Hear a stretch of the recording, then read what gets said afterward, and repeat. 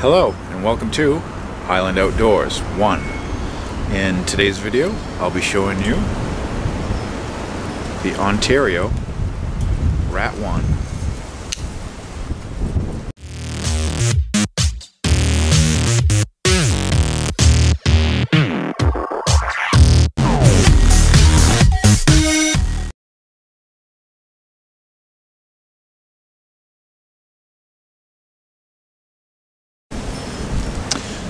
Okay, here we have the Ontario Rat Model 1.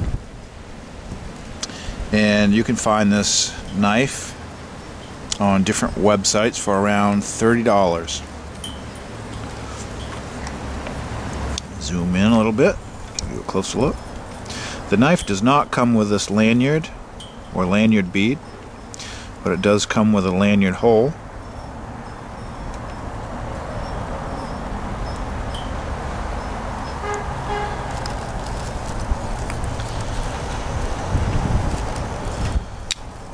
This knife has a black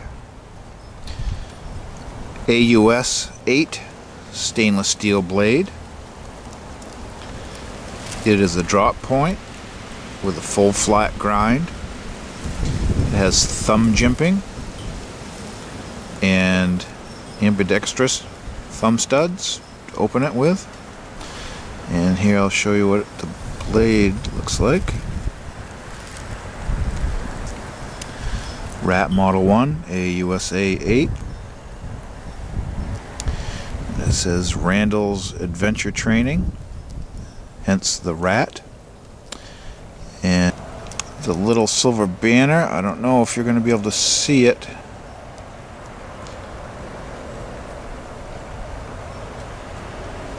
It says Ontario Knife Company, Rat Knives. And on the back,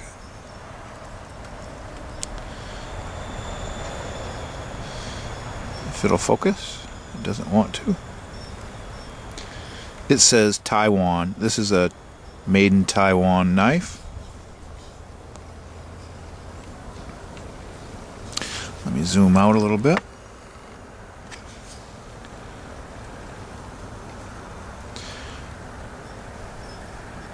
This knife has black nylon handle scales.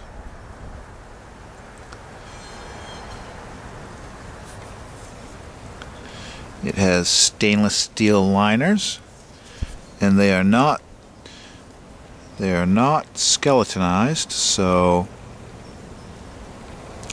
you won't be saving any weight there. It is a liner lock And this knife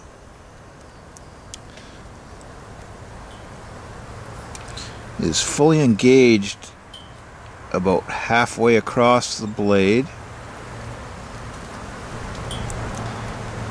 So it does have a little bit more room for wear on this, but the uh, liner lock has thumb jimping. Just push it over to close your knife.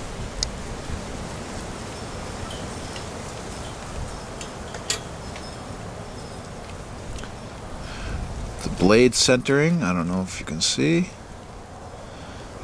on this knife is near perfect.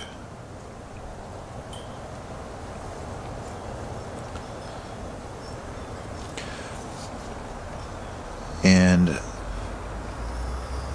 I don't know if the sun will catch. This knife looks to have phosphor bronze washers.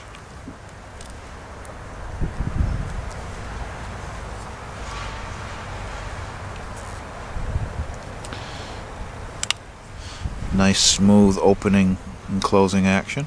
You can flick this knife open. Whoop, fail. It's behind the camera, so it's cold out today, so these the oil in these knives are a little on the stiff side, but trust me, you can flick this knife easily. Uh, we have four-way adjustable pocket clip Right now we're in the right hand tip up mode. It has a spot on every corner of this knife to install that clip wherever you prefer it. And it does have a nice clip. Very sturdy, very rugged. And it carries in your pocket about that deep. You'll have that much showing out of your pocket. The knife is uh, flow through construction. Very easy to clean and maintain with that. You can see the standoff pillar construction. It is torque screw construction. Hold your knife together. Pivot screw is adjustable with a torque screw. The the grip on these uh, nylon handle scales is somewhat smooth. It, it has a, a, little grip to it, but the knife is fairly. It's a benefit to having the knife wide and, and having a good grip. You have plenty to grab onto, and the ergonomics on this knife are outstanding. It, it just fits in your hand very natural. This I would call a medium to large everyday carry knife.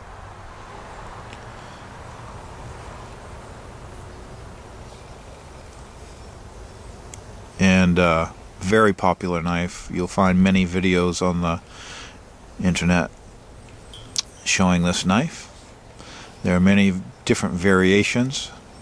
This this particular model has a a black coating on the blade, and it is I don't it, I don't think it's powder coat. I think it's some type of paint or Teflon coating.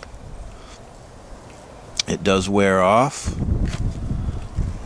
Can see some spots that it's already wearing off, but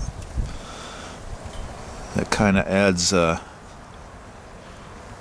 reverse patina type attractiveness to a coated blade when it wears off.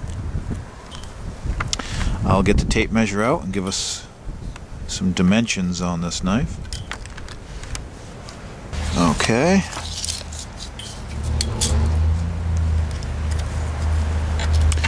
Overall length.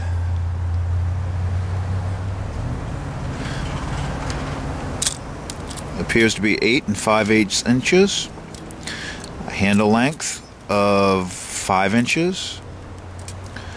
Blade length of 3 and 5 eighths inches. Cutting edge of 3 and 3 eighths inches. The width of the knife is a half inch.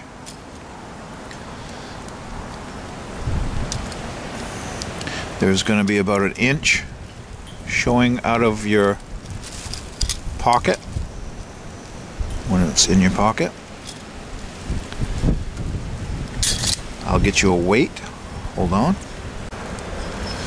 Okay. Turn it on.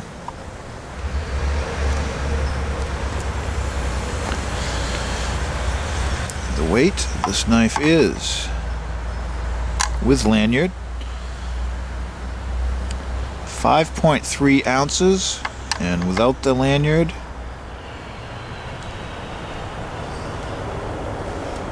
it appears to be 5 ounces.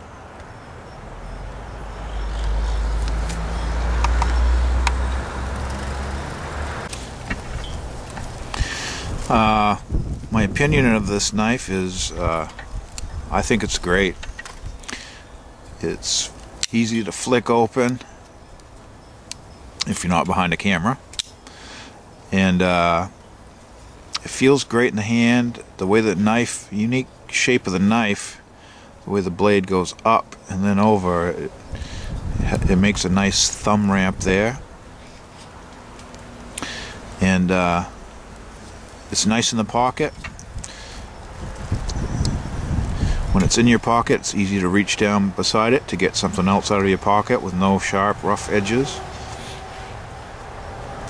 And uh, I highly recommend this knife for around $30. I think it's a uh, it'll serve you well.